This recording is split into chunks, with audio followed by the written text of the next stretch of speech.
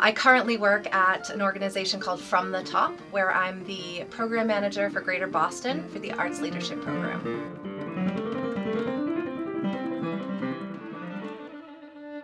So I'm an opera singer um, and also have a master's degree in education and taught for a long time. So um, it's really been an opportunity for me to bring all of my passions together and do this wonderful work.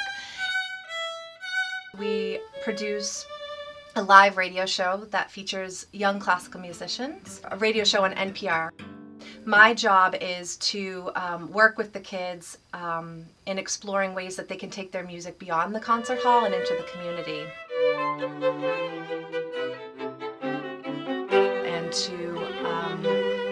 Empower them to go out and make a difference with their music. It's always been really important to me to create new audiences for classical music and to create positive change through music. So I feel like I'm really getting a chance to do that where I am.